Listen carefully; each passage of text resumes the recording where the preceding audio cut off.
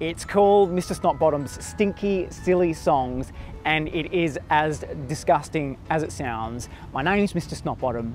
My first name's It rhymes with It's pronounced comes from the Latin word meaning in Chinese it's pronounced Steve.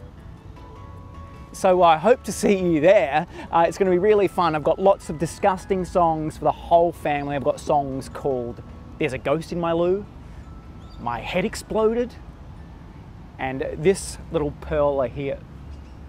Mum makes the house smell of flowers so sweet. Dad makes it smell too, but with his bum and his feet. Mum flushes the toilet, then she closes the lid. Dad leaves it wide open so we can smell what he did. Mum washes her undies so they are brand new.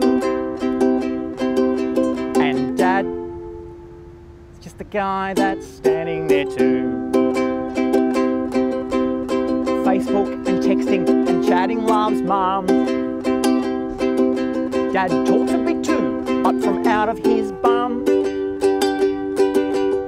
I'm scared of spiders, Mum's scared of jelly. Scared when The Bachelor is on the telly. Mum's shoes are clean, they never smell of dog poo.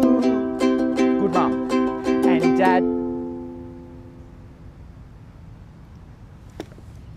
It's the guy that's standing there too.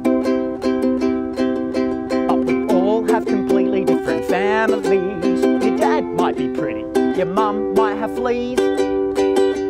Or maybe your parents are actually both wizards, or both mums, or both dads, or even both lizards. You might live out of space or in a dinosaur's brains. Nobody's family is ever quite the same. But for me, it's my dad who chases the bugs.